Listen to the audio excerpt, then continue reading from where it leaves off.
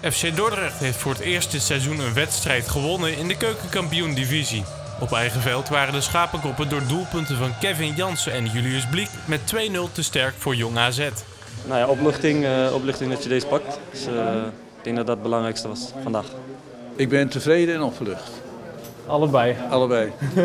maar ja, qua tevredenheid, u zegt toch echt nog dat er... Nee, er is nog werk aan de winkel. Nee, er is nog werk aan de winkel. Er moeten een aantal dingen verbeterd worden. En, uh, en dat weten de spelers ook. Nou, ik denk het eerste kwartier was niet goed. Ik denk dat we daarna goed oppakten, goed, uh, best wel goed voetbal speelden. Ook wat kans creëerden. Alleen, uh, ja, na rust, na rust was heel slecht.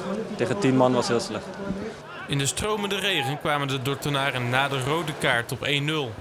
Maar het lukte de thuisploeg niet om de voorsprong snel uit te breiden. Pas in de blessuretijd verdubbelde Julius Bliek de score, waardoor een 2-0 overwinning een feit was.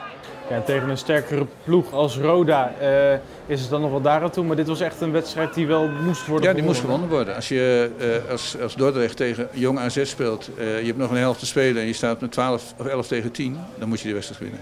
Wat zegt u dan tegen de jongens in de rust?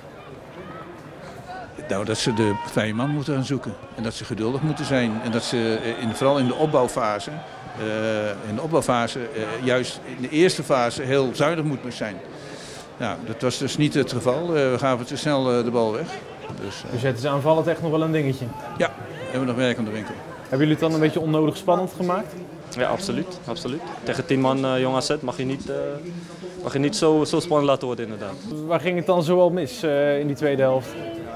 Nou ja, we hielden de bal gewoon niet in de ploeg en uh, we schoten bijna eigenlijk alles naar voren. En uh, als er een beetje druk kwam, ja, dat is niet goed. Uh, ik denk dat toch ook een beetje, beetje de spanning van die overwinning die we toch moeten binnenhalen erin zat. Maar ja, nu hebben we die, dus nu is dat geen excuus meer.